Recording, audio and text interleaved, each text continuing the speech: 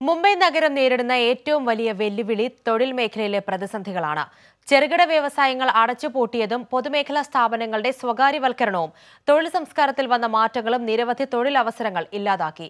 തൊഴിലില്ലായ്മയ്ക്കെതിരെയുള്ള പോരാട്ടത്തെക്കുറിച്ചാണ് മുംബൈയിലെത്തിയ DYFI ദേശീയ president പങ്കുവച്ചത്. ഒരു കാലത്ത് തൊഴിൽ തേടിയെത്തുന്ന യുവാക്കളുടെ സ്വപ്ന നഗരമായിരുന്ന മുംബൈയിൽ മാറിയ തൊഴിൽ സംസ്കാരം നഷ്ടപ്പെടുത്തിയത് നിരവധി തൊഴിലവസരങ്ങളാണ്. കോവിഡ് പൊട്ടിപ്പുറപ്പെട്ട ശേഷം തൊഴിൽ മേഖല കൂടുതൽ പ്രതിസന്ധി നേരിട്ടതോടെ നഗരം വിട്ടുപോയവരും നിരവധിയാണ്. വർദ്ധിച്ചുവരുന്ന തൊഴിലില്ലായ്മ ഉയർത്തുന്ന വെല്ലുവിളികളെക്കുറിച്ചാണ് മുംബൈയിലെത്തിയ ഡിവൈഎഫ്ഐ ദേശീയ പ്രസിഡന്റ് എ എ റഹീം പങ്കുവച്ചത്. തീർച്ചയായും ഡിവൈഎഫ്ഐ മഹാരാഷ്ട്രയിലും ഇന്ത്യയിലെ എല്ലാ സംസ്ഥാനങ്ങളിലും യുവജനങ്ങളെ അണിനിരത്തിക്കൊണ്ട് നടത്താൻ പോകുന്ന വലിയ പ്രക്ഷോഭം. ഇപ്പോഴും നടന്നുകൊണ്ടിരിക്കുന്നുണ്ട്. അത് കൂടുതൽ ശക്തിപ്പെടുത്താൻ പോകുന്ന പ്രക്ഷോഭം. തൊഴിലില്ലായ്മയ്ക്കെതിരായ വലിയ സമരം തന്നെയായിരിക്കും അങ്ങ് സൂചിപ്പിച്ചതുപോലെ തൊഴിൽ സംസ്കാരത്തിൽ വലിയ മാറ്റം വന്നു. അത് ഈ ന്യൂ ലിബറൽ കാലഘട്ടം സൃഷ്ടിച്ച മാറ്റമാണ്. ആ മാറ്റം എന്ന് പറയുന്നത് അൺഎംപ്ലോയ്മെന്റ് മാത്രമല്ല അണ്ടർ എംപ്ലോയ്മെന്റും പ്രധാനപ്പെട്ട ഒരു പ്രശ്നമായി മാറി. ഉയർന്ന ബിരുദമുണ്ടാകും. പക്ഷേ നാമമാത്രമായ ശമ്പളത്തിന് സ്ഥിരതയില്ലാത്ത ജോലിയിൽ ഈ ചെറുപ്പക്കാരൻ ചെറുപ്പക്കാരി ചെന്ന് നിൽക്കേണ്ടി വരും.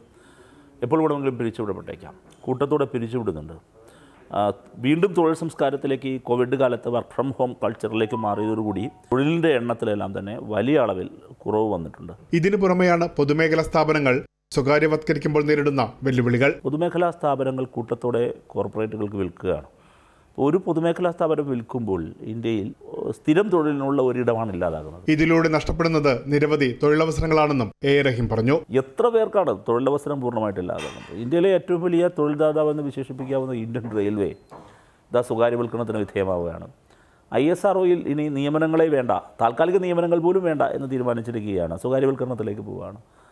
അപ്പോൾ യഥാർത്ഥത്തിൽ ഓരോ പബ്ലിക് സെക്ടറും ഇതുപോലെ വിൽക്കുമ്പോൾ നഷ്ടപ്പെടുന്ന തൊഴിലവസരങ്ങൾ എത്രയാണ്? അപ്പോൾ സർക്കാർ അടിയന്തരമായി ഈ നയം അവസാനിപ്പിക്കണം. പൊതുമേഖലയെ സർക്കാർ തന്നെ നിലനിർത്തണമെന്നും ഇതിന്റെ ബദൽ കേരളത്തിൽ കാണാനാകുമെന്നും റഹീം ചൂണ്ടിക്കാട്ടി. കേരളത്തിൽ തീർച്ചയായും സർക്കാർ സെഗ്മെന്റിൽ പൊതുമേഖലാ സ്ഥാപനങ്ങളെയും ശക്തിപ്പെടുത്തുകയും അതേസമയം തന്നെ സ്വകാര്യ നിക്ഷേപങ്ങളെ പ്രോത്സാഹിപ്പിക്കുകയും ചെയ്യുന്ന ഒരു ബദൽ സമീപനം കേരളത്തിൽ കാണാൻ കഴിയും. തൊഴിൽ നൽകുന്ന കാര്യത്തിൽ. ഇപ്പോൾ കൂടുതൽ അവിടെ നോളജ് എക്കണോമി മിഷൻ എന്ന് പറയുന്ന ഒരു പുതിയ മിഷൻ തന്നെ ആരംഭിച്ചുകൊണ്ട് രണ്ടാം പിണറായി സർക്കാർ മാനിഫെസ്റ്റോയിൽ പറയുന്ന പ്രകാരം തന്നെ ഇരുപത് ലക്ഷം തൊഴിൽ ടാർഗറ്റ് ചെയ്തുകൊണ്ട് മുമ്പോട്ട് പോവുകയാണ്. കൊടുക്കാൻ പോവാണ്. ഇതൊരു ബദലാണ്.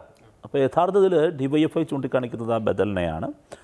തീർച്ചയായും തൊണ്ണൂറ്റിയൊന്നിൽ ആരംഭിച്ച് ഇപ്പോഴും തുടർന്നുകൊണ്ടിരിക്കുന്ന ഈ ന്യൂലിബറൽ നയങ്ങൾ തീർച്ചയായിട്ടും അവസാനിപ്പിക്കണം. അതാണ് രാജ്യത്തെ തൊഴിലില്ലായ്മ രൂക്ഷമാക്കിയ നയം. തൊഴിലില്ലായ്മ ഉയർത്തുന്ന മറ്റൊരു ഭീഷണി രാജ്യത്തിന്റെ ക്രമസമാധാനത്തെ ബാധിക്കുന്ന പ്രശ്നം കൂടിയാണെന്ന് യുവജന നേതാവ് മുന്നറിയിപ്പ് നൽകി.